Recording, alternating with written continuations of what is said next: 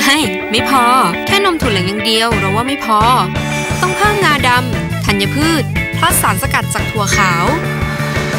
สำหรับเรา Tipco Nature Up Plus สูตร Beauty Light กล่องเดียว พอ